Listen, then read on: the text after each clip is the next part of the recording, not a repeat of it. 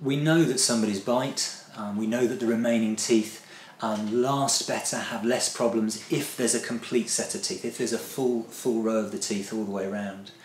Um, we can go through all the separate options that there are for you.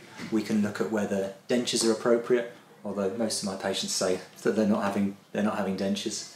We can look at um, bridges, we can look at the fact that bridges can be glued into position or they can be placed over teeth on either side of the space to fill it in. But of course the other teeth don't like have anything done to them. Um, the other teeth want to be left alone really. So the option that's probably um, best for the, for the other teeth is to have an implant. We don't touch the other teeth then, they're simply um, there and healthy. The implant goes in between and it holds a brand new tooth.